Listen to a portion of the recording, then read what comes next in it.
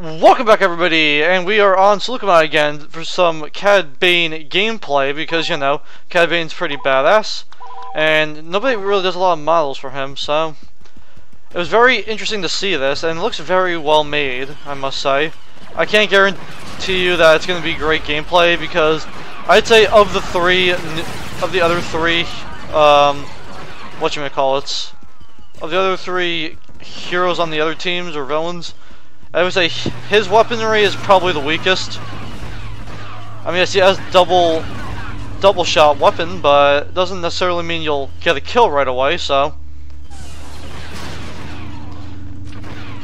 Oh wait, no, it's four shots actually. So I lied. My bad. Fine with me. I'm fine with hostile reinforcements going down.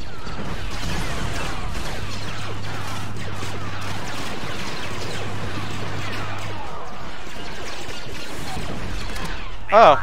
Hmm. I have an idea where we lost it. Probably back here.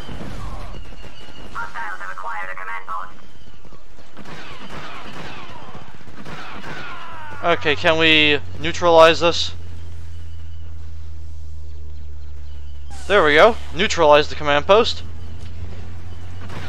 No, it doesn't have any other weapons. Okay, he's got grenades. And he's got jetpacks. And he seems to have that. What do you call it? Um. Can't remember what it's called. Oh well. It's like that damage increase or whatever.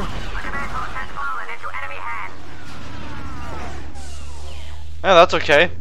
D don't matter at this point.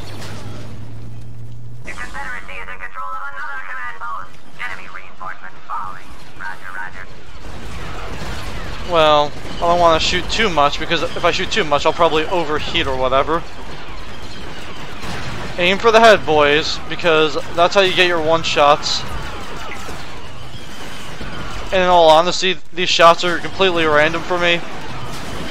It may look like I know where to shoot, but I, honestly, I have no idea.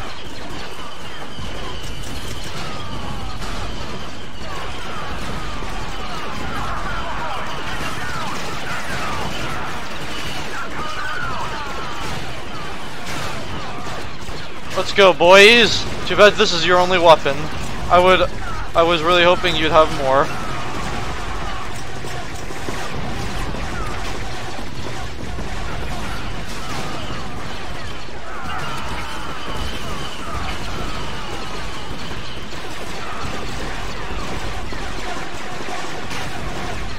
I'm not. I'm never gonna complete full gameplay as a hero with with uh, the health I have.